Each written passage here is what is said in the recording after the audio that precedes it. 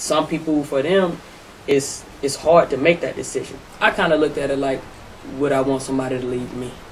Basically, if it was me, would I want somebody to ride past me and leave me, or would I want somebody to take that split second and try to get me in the trunk? So I pulled him in. I wasn't leaving him there.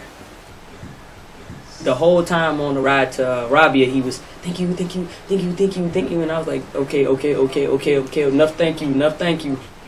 You get deployed and you see so many things that you don't quite agree with or you don't quite like.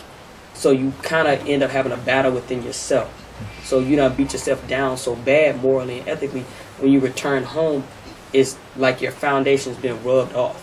So a lot of people, though it may be easy to spell it out and write it down and read it, it's a lot harder to follow.